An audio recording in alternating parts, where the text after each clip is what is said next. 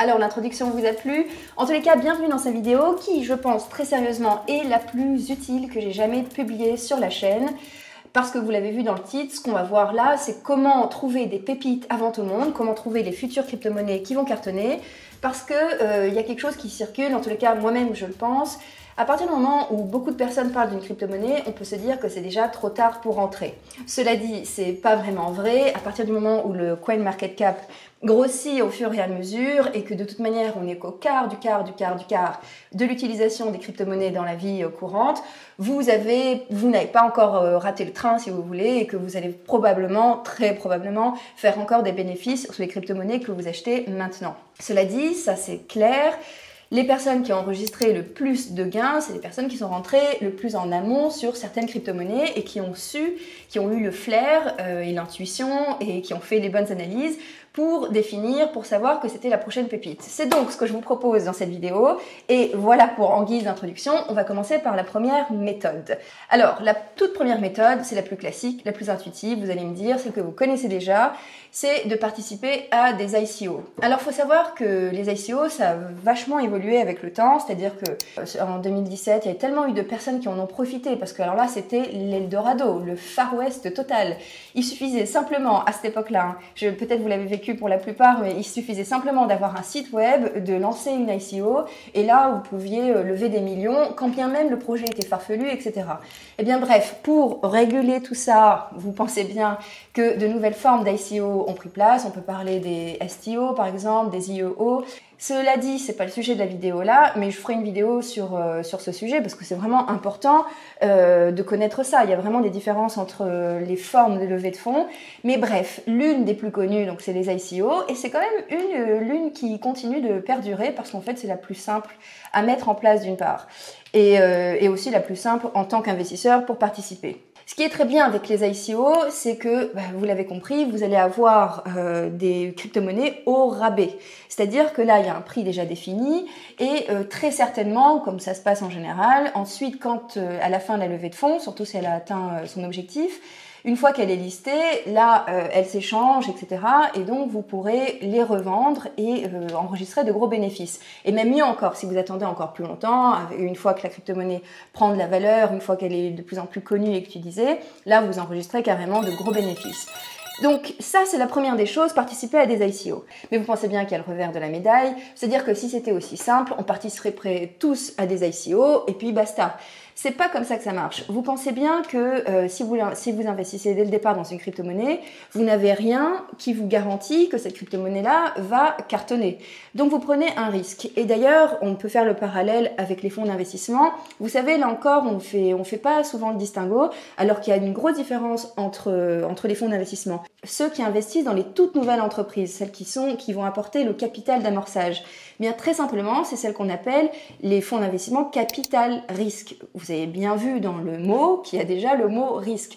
C'est-à-dire que là, bien évidemment, elles vont investir, mais elles prennent le plus de risques possible parce qu'elles n'ont aucune, aucune garantie que ça va cartonner, etc. Alors que les autres fonds d'investissement classiques, ceux qu'on entend, eux, c'est l'inverse. Ils vont plutôt avoir tendance à investir euh, une fois qu'ils ont reçu un business plan bien solide, une fois qu'ils ont les chiffres d'affaires et les bénéfices enregistrés depuis 3-4 ans. Et donc, dans ce cas de figure-là, les fonds d'investissement vont investir, vont apporter du capital dans une entreprise qui est déjà rentable et qui marche. Là, pour le coup, elles font, le risque est beaucoup moindre de se planter et c'est pourquoi, en général, elles investissent plus lourdement. Les sommes sont aussi plus conséquentes. Donc voilà, il faut bien voir ça. Et bien, ce qui se passe avec les fonds d'investissement, c'est aussi la même chose qui se passe avec nous autres, les particuliers.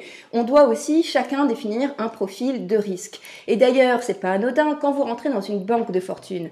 Je parle pas des banques commerciales, hein, Société Générale, etc. Mais vraiment dans une banque de fortune où le ticket d'entrée il a un million d'euros. Qu'est-ce qui se passe? La première chose qu'on vous demande, c'est de définir votre profil risque justement et de savoir si avec vos fonds, votre capital, ce que la banque peut faire. Est-ce qu'elle va investir avec un faible, moyen ou risque élevé?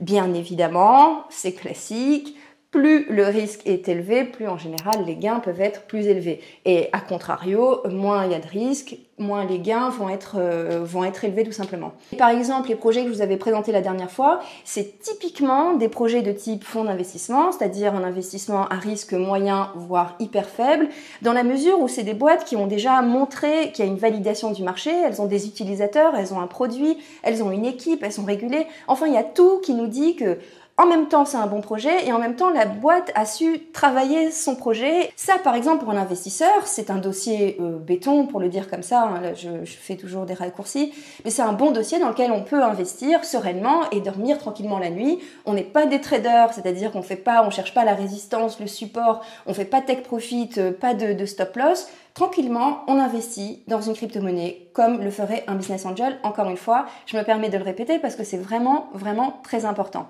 La vraie différence entre le trader et l'investisseur, pour la dire comme ça, grosso modo, la vraie différence, c'est la rapidité du gain.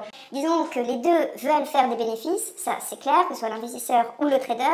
Mais euh, le trader veut en faire le plus possible et le plus rapidement possible. C'est-à-dire que lui, il veut pas enregistrer plus de 20% en 3 mois ou en, ou en 3 ans. Lui, ce qu'il veut, c'est le plus rapidement possible, en une semaine, ça dépend de la time frame qu'il s'est choisi. Donc ça, c'est vraiment très important parce qu'à partir du moment où vous fixez votre horizon, c'est comme ça que vous allez pouvoir vous placer et entrer au bon moment. Normalement, maintenant, vous vous demandez, oui, mais d'accord, euh, comment trouver les bonnes ICO Alors, euh, tout simplement, il y a pas mal de sites, mais euh, alors il y a beaucoup aussi de sites qui sont pas mis à jour. Les meilleurs, les plus reconnus, c'est ICO Bench. Alors, je sais pas pourquoi, mais en ce moment, j'arrive pas à me connecter dessus. Sinon, il y a ICOholder.com qui est bien et ICO Watchlist. Alors, ce qu'on va faire dans la deuxième partie, on va simplement regarder ensemble euh, quelques ICO qui peuvent être intéressantes. Et surtout, ce qu'on va voir, c'est les questions qu'il faut se poser. Parce qu'il y a quelque chose que je dois vraiment répéter. Mais alors vraiment le dire fort. Vous savez, ça fait 10 ans que les crypto-monnaies existent. Au tout départ, les crypto-monnaies, c'était simplement des moyens de paiement. C'est-à-dire, c'était vraiment au sens propre des crypto-monnaies, c'est-à-dire des monnaies numériques. La seule chose qu'on pouvait faire avec, c'était payer. Typiquement, Bitcoin. Bitcoin, Bitcoin Cash, tous les Litecoin, tout ce type de, crypto-monnaies-là, c'est vraiment des monnaies quoi, numériques. Elles n'ont pas d'autre utilité. Avec l'avènement d'Ethereum, euh, ce qui s'est passé, c'est qu'on a commencé à créer des services avec, donc les fameuses applications décentralisées. Euh, et donc là, la crypto-monnaie, elle a un autre usage que le paiement pur, c'est-à-dire qu'elle va, servir surtout à utiliser les services de cette DIAP, de cette euh, application décentralisée, de cette société tout simplement. Et donc quand vous investissez dans une crypto-monnaie, vous investissez indirectement dans l'entreprise qui la sous-tend. C'est ça qu'il faut bien comprendre. C'est pourquoi c'est important d'avoir un œil d'investisseur, encore une fois. Vous êtes comme un business angel qui allait éplucher la société pour pouvoir investir dessus. On n'est pas dans une crypto-monnaie qui est juste une crypto-monnaie. Et c'est pourquoi vous pouvez trader comme vous le ferez avec le Forex pour certaines crypto-monnaies, mais pour d'autres, je pense qu'il est capital essentiel de vous baser sur la fondamentale, de suivre la roadmap et les annonces du projet parce qu'elles auront un impact d'autant plus grand que de simples graphiques, etc. Je le dis comme ça au passage, je reviendrai dessus sur une autre vidéo parce que vraiment c'est primordial. Bref, alors la toute première première question qu'il faut se poser, c'est qui est derrière? Alors ça peut paraître assez paradoxal dans le monde des crypto-monnaies, je le sais bien, parce que justement tout a commencé avec quelqu'un qui était anonyme. Jusqu'à maintenant, on ne sait pas qui est, euh, qui est derrière le Bitcoin, et c'est peut-être justement cet anonymat qui fait le succès du Bitcoin. Ça, on en reviendra plus tard, mais pour des sociétés comme ça qui proposent de vrais services comme beaucoup de DIAP, c'est quand même très important de savoir qui est derrière, de savoir l'étendue de, de, de, la team, parce que, encore une fois, par rapport à ce que je vous disais tout à l'heure, on n'a plus affaire qu'à des crypto-monnaies, on a affaire à de vraies entreprises, il faut pas l'oublier. Même quand bien même c'est décentralisé, quand bien même c'est juste un protocole, euh, il y a quand même un service qui est fourni, il y a quand même, et quand bien même c'est géré par les smart contracts et que c'est automatisé, il y a quand même un travail derrière de communication, etc. Il y a des mises à jour qui sont, qui sont mises en place. Enfin, ça reste une société, ne l'oubliez pas, même si ça paraît assez, assez fou, euh, dit comme ça. Alors, vous allez me dire, oui, mais il y a plein de protocoles, euh, comme euh, bah, justement, si on pense au chef Nomi et euh, SushiSwap, il était anonyme et ça n'a pas empêché le, le succès. Je dis pas que ça empêche le succès, je dis juste que pour certains projets, euh, typiquement, la dernière fois, on avait vu Helium. quand des projets sont lourds, ça demande quand même une équipe et c'est toujours mieux de savoir qui est derrière. Et d'ailleurs, pour reprendre l'exemple de SushiSwap, on peut se dire aussi qu'à partir du moment où il a pété un câble en se tirant avec l'argent, c'est justement parce qu'il était anonyme. Donc même, même pour lui, euh, il a eu peut-être cette tentation du diable parce qu'il savait très bien qu'on pouvait pas le retrouver parce qu'on savait pas qui c'était. Donc bref, ça c'est une réflexion qu'on peut avoir euh, dans les commentaires. Dites-moi ce que vous en pensez. La deuxième question, la plus importante, bien sûr, c'est celle de l'utilité du token. À quoi il sert? Pourquoi ils l'ont mis en place? Et vous allez voir que finalement, typiquement d'ailleurs, ce qu'on appelle shitcoin, et d'ailleurs j'entends trop souvent ce nom-là, on le donne un peu pour, pour tout et n'importe quoi.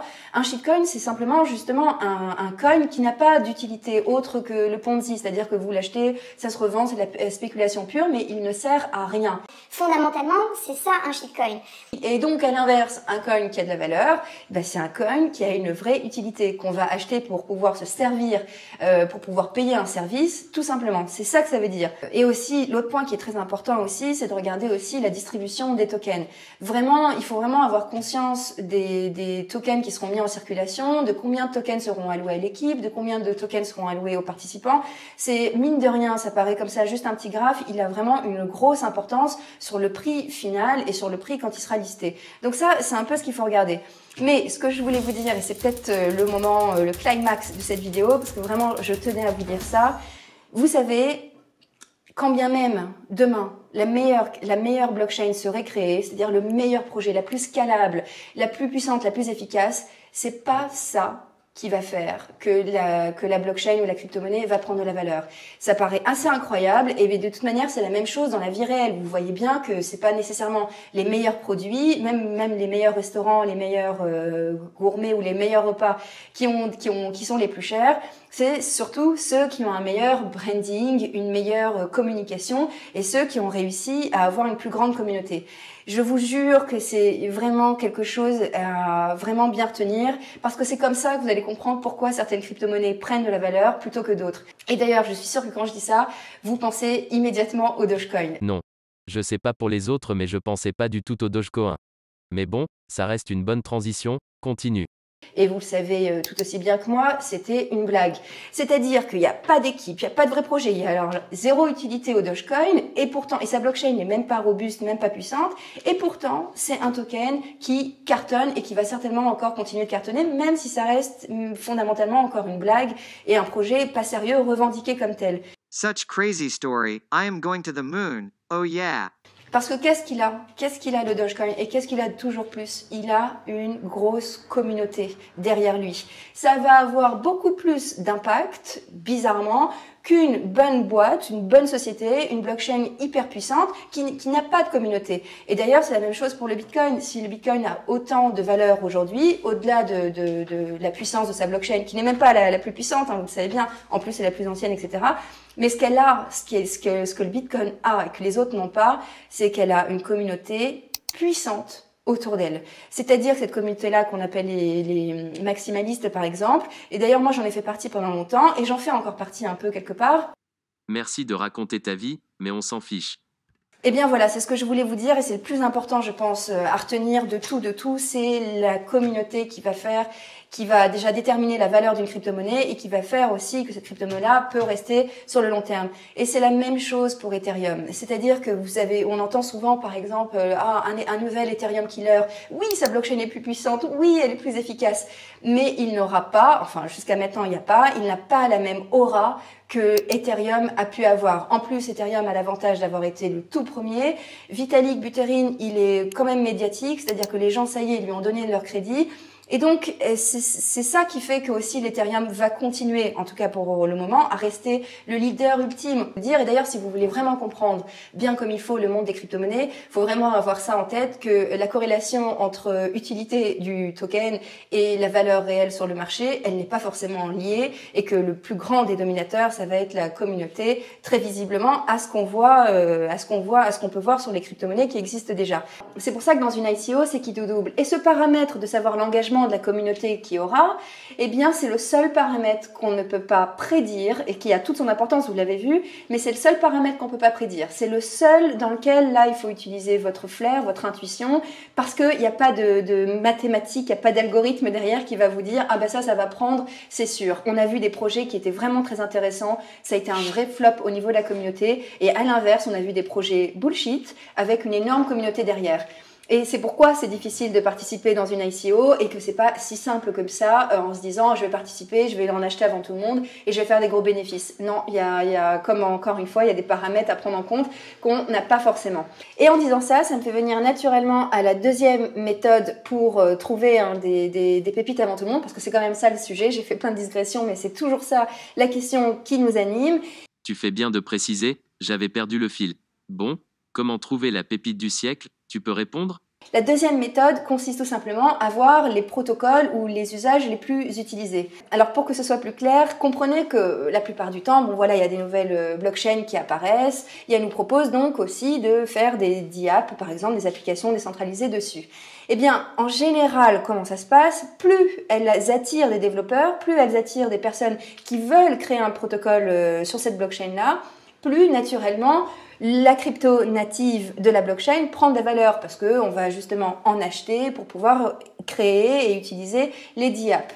Euh, je ne sais pas si j'ai encore été très claire, mais En gros, ça veut dire quoi? Donc, plus il y a de protocoles créés sur une blockchain, plus la blockchain prend de la valeur et gagne un intérêt indirect de la part des utilisateurs. Et ce qui se passe, c'est que de plus en plus de blockchains euh, attirent de nouveaux développeurs, de nouveaux utilisateurs. Et ce qu'il faut faire, enfin ce que je fais, ce que certaines personnes font, ce qui s'avère très pertinent pour euh, pour euh, repérer ces blockchains qui montent, c'est en fait vous allez sur les sites comme State of the Apps par exemple, et vous allez voir les protocoles les plus utilisés. C'est-à-dire que vous pouvez voir le nombre d'utilisateurs, le volume, l'activité de développement, etc.